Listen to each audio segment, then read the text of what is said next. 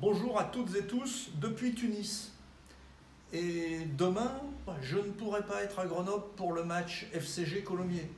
Et à Tunis, même si c'est plus une terre de football qu'une terre de rugby, eh ben nous allons suivre ce match. Mais aussi demain, c'est le showroom du 15 des startups du FCG.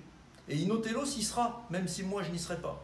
Alors nous vous invitons à nous rejoindre avant le match au Stade des Alpes pour découvrir pourquoi et comment ce filtre à café peut devenir une innovation.